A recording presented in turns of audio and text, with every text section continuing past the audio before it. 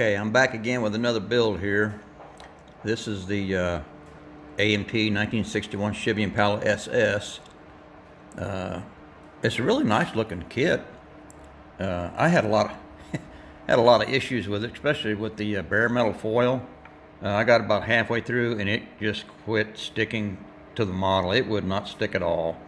So it looks kind of rough, and I had to kind of finish out what I could. What with what would stick and then finish it with the um, uh, Molotow chrome pin.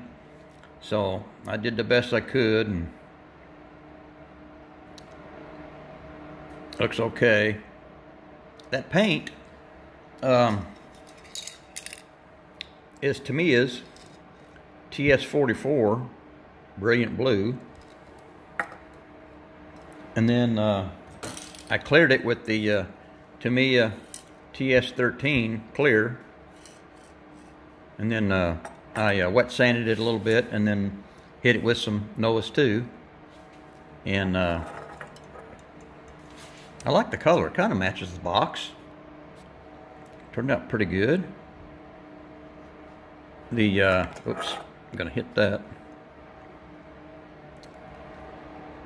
Interior came out pretty good. I like the color of that interior.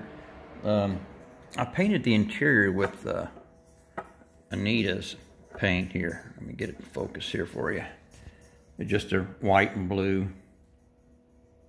That was all brushed on.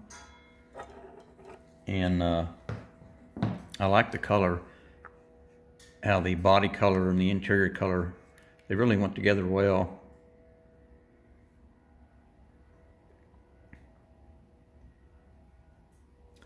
All right, let's let me get the hood off here. Okay. like always, I did a little little bit of detailing in here. I wired the distributor. That's that nice 409 engine in there. Really like that. I know all you guys and gals do.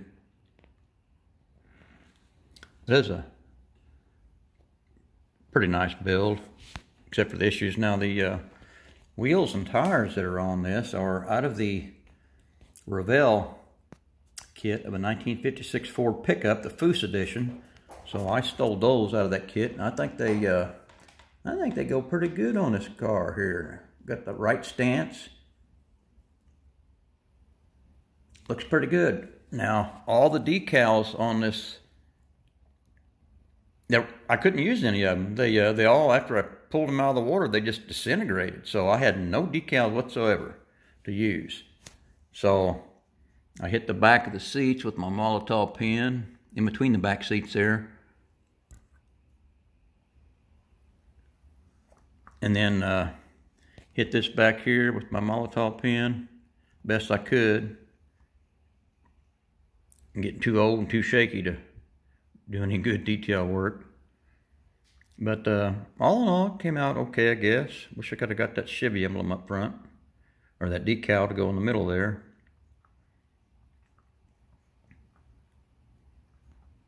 Came out okay. I, I really like the color. Uh, the color looks really good. I think until uh, the company that's making this bare metal foil, until they get their issues figured out, uh, I probably won't. I'm going to stay away from the cars that have a lot of it on it right now.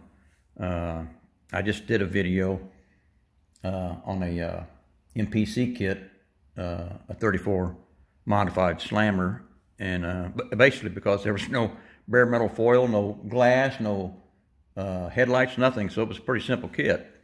So I think I'm gonna stay with the simple stuff for a while. But it's a nice looking car. I, everybody likes the bubble tops. Other than that, I think that's about it. I I really like the way the, the red on the calipers, brake calipers stick out. Kind of good contrast off that blue.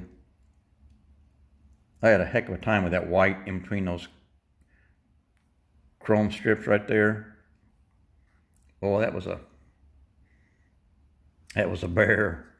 It didn't didn't seem to want to take the white for some reason. I, I sprayed it and then the, the white kept kind of, it wanted to pull away from the plastic in certain areas. I, and I, I sanded and cleaned, uh, you know, prepped the body really good. So I don't know what it was, but uh, it just see like to the left of the SS emblem there, you can see where it just I could not get that white to cover.